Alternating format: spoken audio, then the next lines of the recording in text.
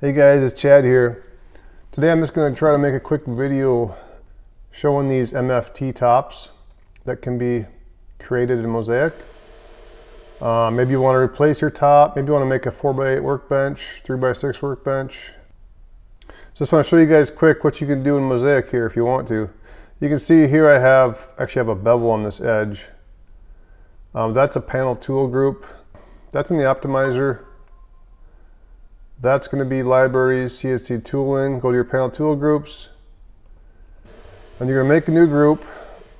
And I called this one MFT top Chamfer cutout. But this would be the top here. This is your edge. Get a 90 degree tool and you can just create a little relief or a little bit of a bevel there. So you can see what I did there. Uh, so that's that. If you want to do the bevel, what you would do is take a base cabinet and what I have here is I ran the base cabinet top long, or sorry, I made it a full top and I ran the top long at unfinished ends. So make sure your ends are unfinished and that'll bring that over. And yeah, these holes can make can make things kind of slow down here a little bit. So I'm on high detail here too, but you don't really need to be on high detail. Um, so what you do here, just go to your parts. If you just want to build the top, just uh, clear everything except for your top. And there you go. So there's that. What I've found in my measurements is if you go to 1001 millimeter wide, 717 deep, that seems about right. I've got a couple different measurements. That seems to be a good fit. Double check your part to make sure you're getting that. Make sure there's no banding. Uh, make sure you got that right there. And yeah, that'll cut out sweep. So yeah, you can see here I have the bevel here. If you don't want that, remember I was in my in my parts, my operations here is where I added that.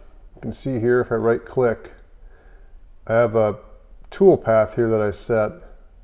I selected my MFT top chamfer and that was a perimeter tool path. Um, so you can do that by adding, adding a tool path. Just going perimeter and then going to select your tool path there. So that's how you would do that if you want to do the bevel.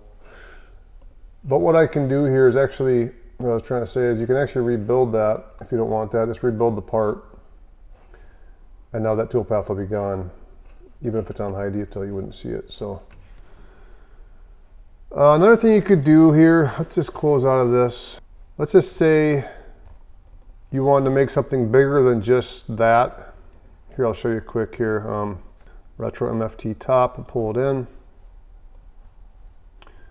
There it is. If you don't want to make this size bench, um, let's make this bigger. Let's make this um, 4 by 8 Of course, that's a little bit exaggerated, uh, but I just want to show you what would happen.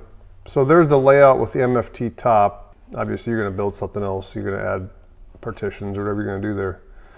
And in that case, that disappears. But I'll show you how you'd eliminate that. What you can do is just split this uh, separator. There you go. And now here, let's just put our partition. Let's just, of course, you would switch that to zero. But I want to show you something else here. Let's put a different insert in here. Let's go to a full 4 by 8 hole pattern.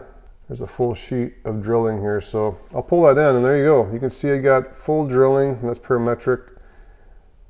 And what I would do here I can shrink this. Let's just shrink it to one for now, just to get an idea. I can still get in there easy. Um, so I can edit that.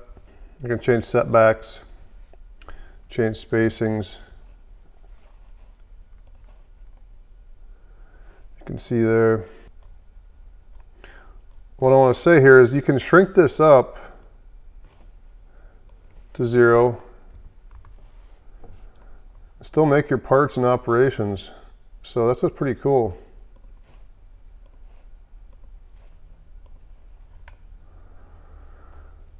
And of course I can make this smaller.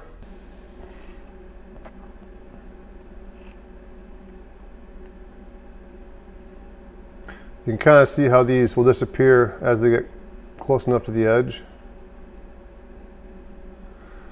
But yeah, if you want to make a smaller table, you know, change your spacings if you want. What's cool is Mozaik is now eliminating the operation if it goes off the part. So let's go into this part here. Look at the top, operations, and you can see there's no holes that are off the part. Um, you can also delete holes. And so if I go into the insert here, I can still get into there. If I zoom in a little bit, select that stretcher, pull it down, and edit it, I can go into my operations. You can kind of look at your thing here. I got the front center hole, you know, front, left, right, one, two, three, four. And then I got, you know, second row, center. They're all clearly labeled, so you can easily delete holes if you need to, or copy or add more, whatever you want. But yeah, take a look at this, guys. Um, if you want to download it, it's on my website. Take it easy, guys.